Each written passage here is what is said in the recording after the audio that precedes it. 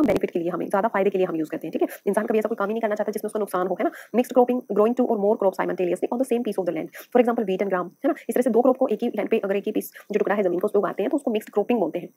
ठीक है ये क्रॉपिंग है क्रॉप्स की ही बात हो रही है। वीट और मस्टर्ड को भी ग्रो करते हैं ग्राउंड और सनफ्लावर को भी। This reduce risk and give some insurance against the failure of the crops इसकी वजह से क्या होता है कि अगर जो किसान होता है, उसको क्रॉप के फेल होने का जो रिस्क है, वो नहीं होता और वो इंश्योरेंस देता है कि नहीं होगी क्रॉप्स जो है वो खराब नहीं होंगी। क्योंकि देखिए, अगर एक क्रॉप के ऊपर कीड़ा लग जाता है या कुछ कुछ बारिश का किसी और चीज़ का असर होता है तो उसे उम्मीद रहती है कि कम से कम दूसरी क्रॉप तो बचेगी। है ना? तो इसे श्योरिटी मिलती है, उसको कॉन्फिडेंस बढ़ता है फिर उसका।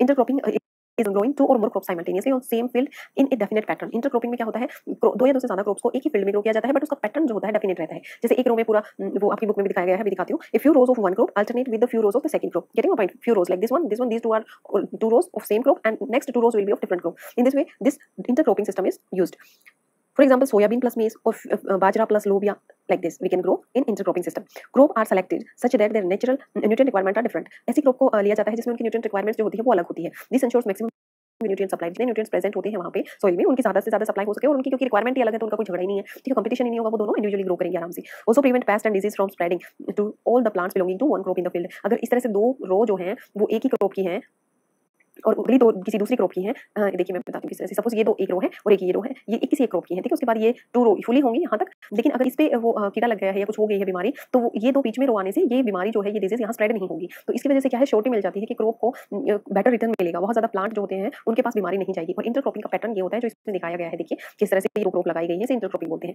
The growing of different on a piece of land in pre plan succession is crop rotation pre plan succession होता है, हमने एक सीज़न में, दूसरे सीज़न में कुछ और लगाया है तो वो प्री प्लान जो होता है रहता है और उसे क्रॉप रोटेशन बोलते हैं। ठीक है मतलब घुमा घुमा के क्रॉप बोना इस साल बाजरा बो दिया, अगले साल कुछ और लगा देंगे उसी फ़ील्ड पे।